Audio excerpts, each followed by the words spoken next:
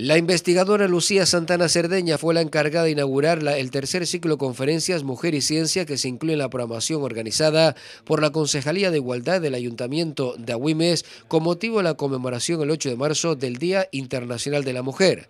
Lucía Santana presentó la conferencia titulada Modelo de Innovación Turística, el modelo colaborativo y gestión y explotación eficiente de los datos. Primero, eh, hacer una introducción sobre el papel de la mujer, sobre todo en el área de las matemáticas y la ciencia de datos, porque específicamente mi área, que se trata de la innovación turística y la gestión y explotación del Big Data, que es la, novedad, un poco la, palabra de moda en día de hoy, eh, voy a explicar cómo está afectando a la innovación turística en Canarias y en España y cómo crear un nuevo modelo de innovación que afecte positivamente a, este sector.